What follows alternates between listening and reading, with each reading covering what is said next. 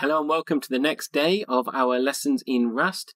Today we are going to be looking at lifetimes and memory safety. And the first video here is going to be why lifetimes matter. And I've just created a new library here. Now the basic principle here is that when a variable goes out of scope, that variable dies. But of course, we want to be able to sometimes point to another variable. So that's what a pointer is, and in Rust, the syntax for a pointer is and, which is often referred to as a borrow. Well, if that variable dies, but we still have something pointing to it, then when we read it, we could read anything and we don't know what we're going to get, and that's bad for security and for lots of other reasons. Let's continue working with our money type. So I've created this function here which will take a value and instead of returning an actual GBP, the memory copied, this is just going to return a pointer to that variable. So we'll create a new GBP here. Let g equal GBP and its value will be i. And we will just return a pointer to g.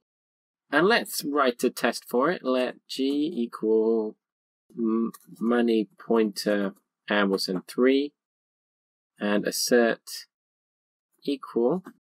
This should be a pointer. G should be a pointer, so we need to dereference it to compare it with another. So we'll dereference G and compare that with a GBP whose value is also 3. So we run this we have an error here saying expected lifetime parameter. What on earth does that mean? well, basically, the compiler is saying, I want to know how long this parameter, this thing is going to live. But it doesn't know. It can't know. Um, oops, let's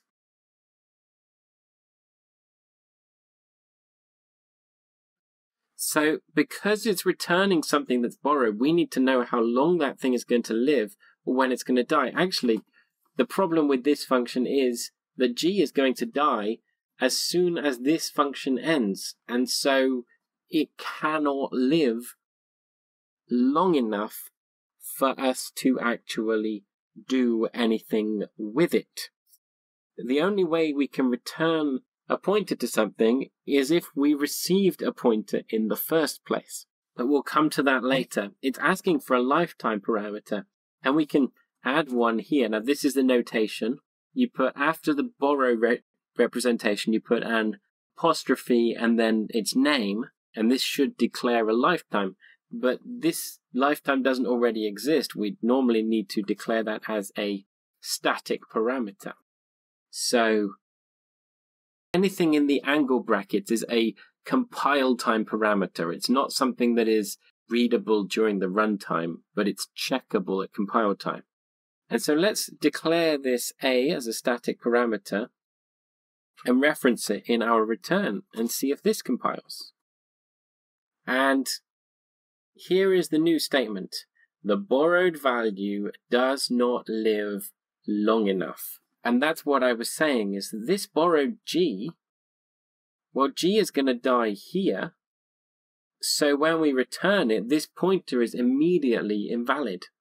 In other languages like Go or Java or anything else, you can return a pointer without any trouble because they're all garbage collected. And so the G won't die as soon as it reaches the end of its scope. It will die when all of the pointers that are, when everything that's pointing to it is also dead, and then the garbage collector is called. In Rust, because we do not have a garbage collector, the program needs to know when to kill anything, and so the best time is when that variable goes out of scope.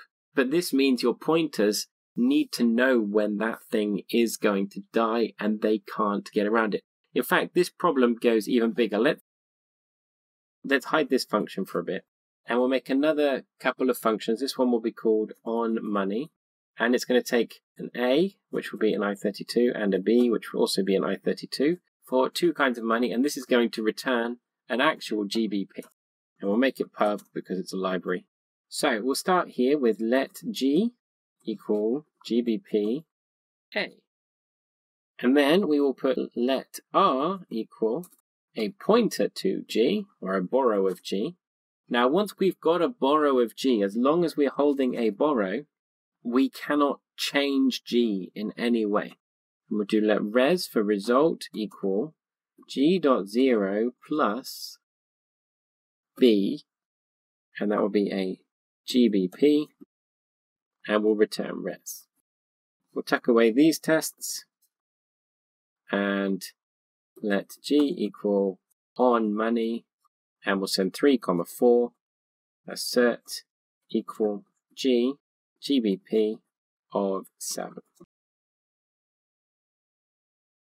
and this test works. We have assigned this borrow here to r and we've oh that's supposed to be r.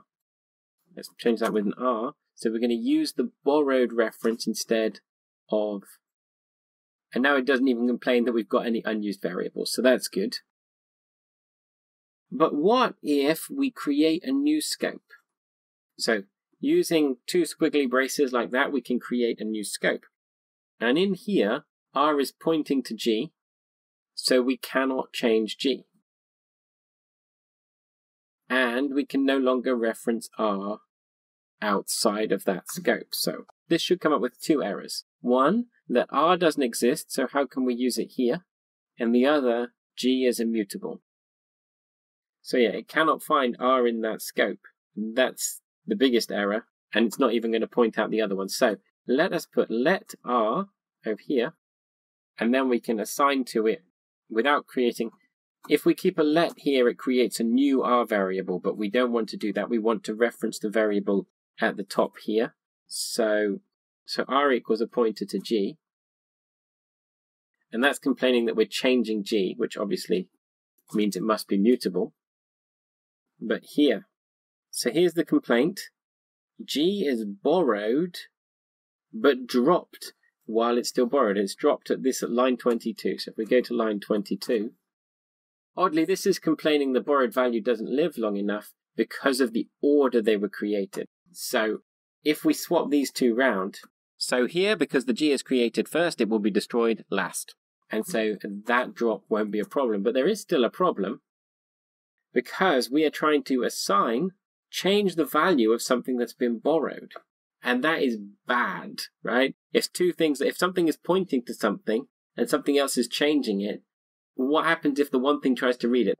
I realize that for now we're in the same thread, but but you really have to have ownership of what you're working on to be able to edit it. And that's a principle in Rust. So here it's saying we are, we are assigning to G, but we've borrowed from it here. So we can't assign to it while we've borrowed it. What about if we define G inside this scope? So R exists outside the scope, but G only exists inside this scope. And here's the important message the borrowed value does not live long enough. So anytime you use a pointer, if the object in question that you're pointing to will die, will reach the end of its scope, before you drop that pointer, so for example, this R pointer lasts right to here, then you're going to have a problem. If we pull away the scope altogether, this will work. Mostly. Oh yeah. And put this first. So how can you pass pointers around from one part of your program to another without being worried about the lifetimes coming to an end too soon?